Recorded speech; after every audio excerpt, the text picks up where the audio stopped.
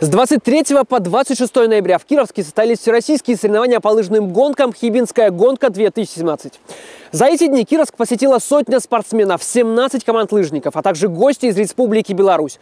Для Кировска это большое событие, ведь когда-то в Хибинах тренировались олимпийские чемпионы. И сейчас, благодаря поддержке правительства Мурманской области, администрации Кировской и компании «Фосагро», славные лыжные традиции в Хибинах возрождаются. И Хибинская гонка – яркое тому подтверждение.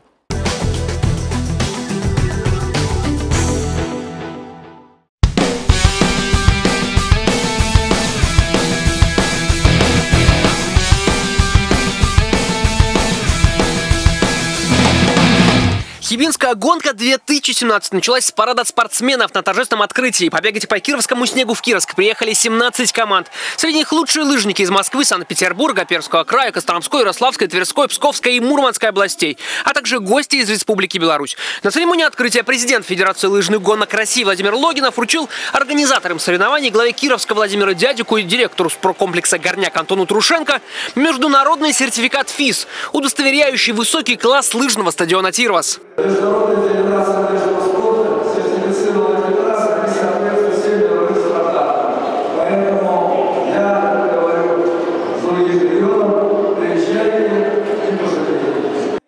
Далее, после церемонии открытия, заместитель губернатора Мурманской области Алексей Тюкавин в интервью нашему телеканалу отметил, движение на возрождение лыжных традиций в Хибинах уже началось. Мурманская область и Кировск, прежде всего, и Апатиты всегда были э, центрами зимнего спорта. И, и нам очень хотелось, чтобы это все вернулось.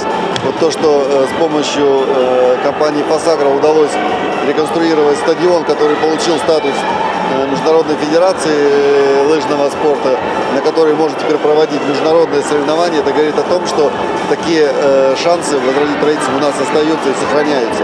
Чтобы те традиции, которые Хибинская гонка когда-то в, э, в России и в мире имела, чтобы они вернулись, и чтобы мы гордились тем, что у нас есть такой центр э, лыжного спорта.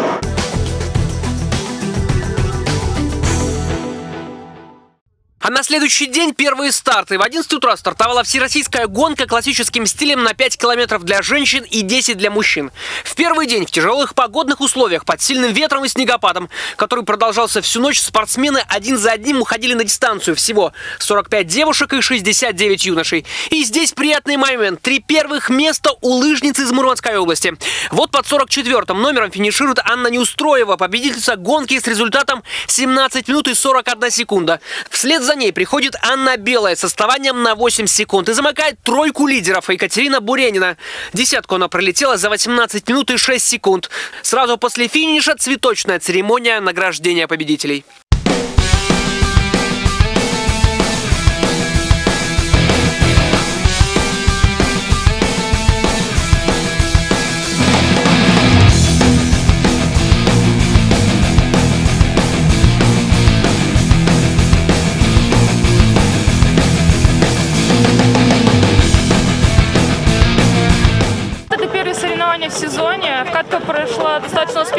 Снег выпал э, рано, где-то в середине октября.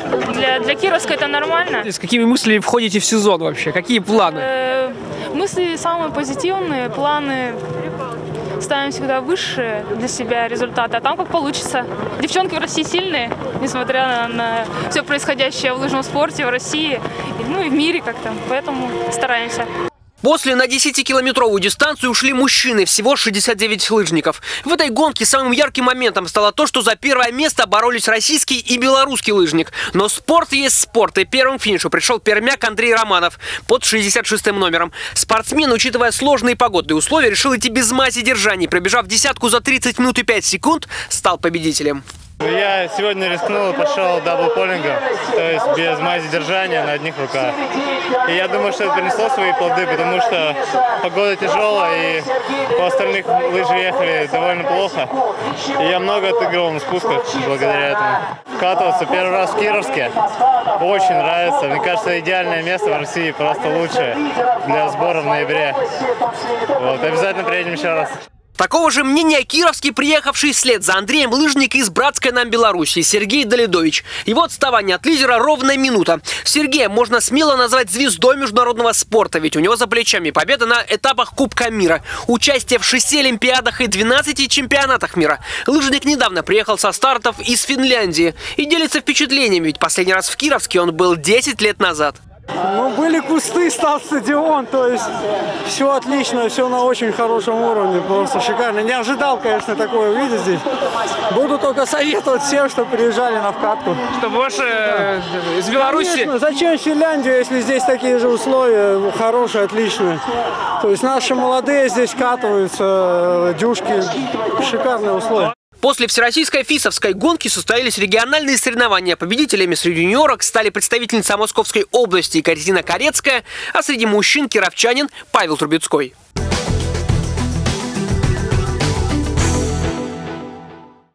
А на второй соревновательный день, 26 ноября, в Тирвасе бежали спринт. Правила дисциплины следующие. Сначала проходит квалификация. Спортсмены, стартуя с 15-секундным интервалом, бегут один круг в полтора километра. В гонке приняли участие 37 женщин и 57 мужчин. Лучшие лыжники выходят в четвертьфинал. И начиная с этой стадии, лыжники отправляются на дистанцию с общего старта по 6 человек в группе. В полуфинал выходят 12 спортсменов, по два лучших из каждой четвертьфинальной шестерки, а также два лыжника из всех оставшихся показавших лучшее время. Аналогичным образом проходит отбор в финал, куда попадают шесть лучших лыжников. Они разыгрывают между собой медали. Побеждает тот, кто первым пересечет финишную черту. Таким образом, спортсмены несколько раз проходят на максимальных скоростях дистанцию. Полтора километра пролетают за 3-5 минуты. И здесь все решают сотые доли секунды. Время засчитывается, когда не лыжа, а нога спортсмена с прикрепленным датчиком пересекает линию. Поэтому финальный забег здесь невероятно эмоционален. У мужчин явным фаворитом был пермяк Андрей Андрей Романов под первым номером. Чемпион первого дня соревнований. И квалификацию остальные старты он был в лидерах. Спортсмен снова вышел на лыжню без смазки и работал исключительно руками. На этих кадрах финишного забега видно его работу. Таким образом Андрей стал снова победителем. Оформить сегодня, 25 ноября,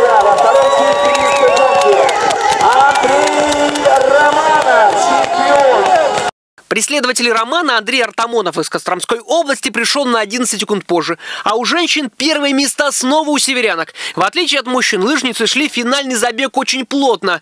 Вот последние несколько сотен до финиша. Первая бежит номер один Ольга Паснова из Санкт-Петербурга. Но за несколько десятков метров до финиша северянка по третьим номерам Анна Неустроева вырывается вперед и буквально на последних метрах финиширует первой. Один из первых стартов этого сезона. Сезона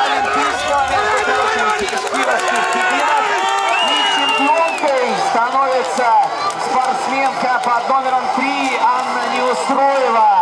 Время победительницы в финальном забеге 4 минуты и 34 секунды. На секунду позже приходит тоже северянка Анна Белую и на сотую долю секунды Ольга Паснова. Красивейший финиш. Лыжная дисциплина спринт, наверное, в Кировске не проводилась никогда. Пока лыжники на дистанции, рассказывает вице-президент Федерации лыжных гонок России Владимир Логинов. Вообще у Кировска славная спортивная история.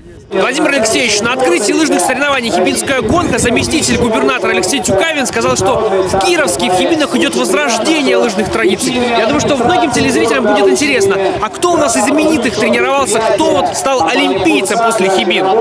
Ну, вы знаете, здесь у Хибин, э, вообще в Кировске очень высокие традиции. Если уйти далеко с традицией, то 1952, 53, 54 год, вся сборная команда Советского Союза по всем зимним видам спорта. Лыжники, гонщики, двоеборцы, прыгуны и даже фигуристы.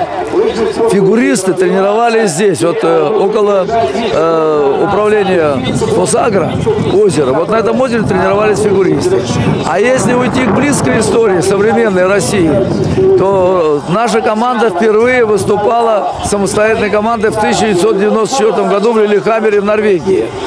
Так вот, готовясь к Лилихаммеру, Здесь дважды проводили тренировочные сборы биатлонисты. Здесь тренировались, ну, помимо наших наших великих, там Анна Багали, двукратная олимпийская чемпионка, Валера Киренко, дважды серебряный призер Олимпийский, это наши мурманчане. Здесь чемпион мира Андрей Зинков, он вообще апатитский парень по биатлону. Анфиса Рисова, единственная женщина-чемпионка Олимпийских игр в лыжных гонках и в биатлоне, трехкратная олимпийская чемпионка. Здесь тренировалась Нина Гаврилюк, трехкратная олимпийская чемпионка. Здесь тренировался герой России, пятикратная олимпийская чемпионка Лариса Лазутина. Здесь тренировалась шестикратная олимпийская чемпионка, герой России Любовь Егорова. Здесь тренировалась президент Федерации лыжных гонок России Елена Виальби. Она трехкратная олимпийская чемпионка, 14-кратная чемпионка мира, 45 побед на Кубках мира. Здесь э, тренировалась олимпийская чемпионка Светлана Нагейкина. Здесь тренировался олимпийский чемпион э, Алексей Прокуроров. Здесь тренировался э, олимпийский чемпион Александр Легков.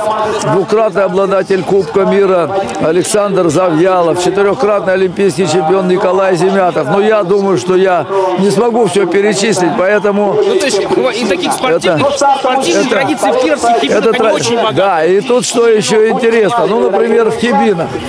Спортсмены в 5 часов у них завтрак утра. Пол шестого они сели на автобус и через Лакурти поехали на первый этап Кубка мира в Гелевара в Швецию. И уже ужинали в 6 вечера там. То есть это очень удобно. И, конечно, я думаю, что Алексей Михайлович правильно сказал, что идет возрождение. Мы благодарны очень руководству области, городу, особенно руководству ФОСАГРО, потому что сделано в первую очередь и созданы условия для организации отдыха на лыжах, просто прогулок лыжных, люди, людям всякого возраста. А это важно, когда население города проводит на воздухе, особенно в полярную ночь. Это борьба с проблемами в полярную ночь, с простудными заболеваниями. И сделано это на хорошем уровне, потому что когда люди отдыхают на высокоорганизованных таких благоустроенных местах, то это здорово. И спортсмены за счастье считают потренироваться здесь.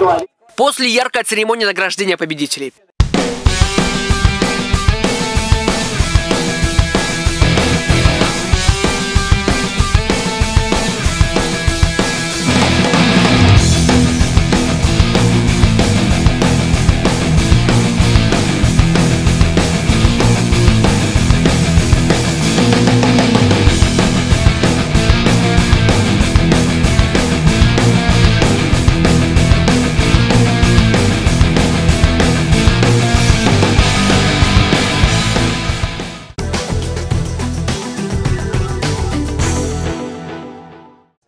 26 ноября, третий соревновательный день. Всероссийская гонка «Стиль свободный». На старт выходят 67 мужчин. Они бегут 10 километров и 41 женщина. У них станция 5 километров. И здесь интрига. У мужчин явных фаворитов двое. Это уже двукратный победитель хибинской гонки Пермяк Андрей Романов под 77 номером и лидер сборной команды Республики Беларусь Сергей Долидович под 81 номером, который, если изучить его биографию, больших результатов добивался именно коньковым ходом.